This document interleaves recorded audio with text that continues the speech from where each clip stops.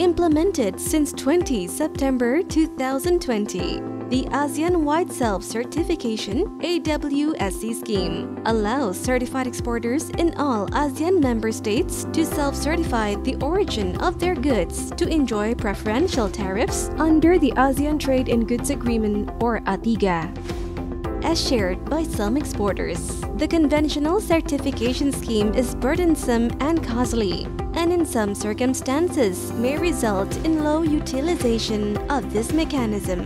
From now on, such concern will be addressed by this new scheme. Unlike the conventional system, certified exporters are now able to make out an origin declaration on a commercial invoice or other commercial documents anytime and anywhere convenient for them.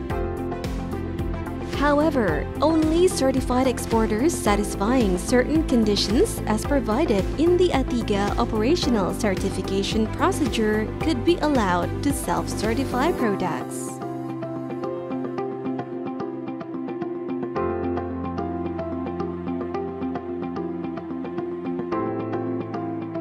To support the AWSC implementation, a certified exporter database was developed with the ASEAN USAID Ignite support.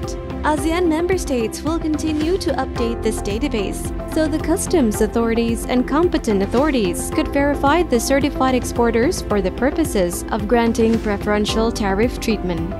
As a great leap forwards in enhancing the regional trade facilitation, the AWSC will support the seamless free flow of goods, simplify the certification procedures, reduce trade transaction costs, provide the utmost convenience to the traders and governments, facilitate the trade in the region, and encourage traders to take more advantages of the ATIGA.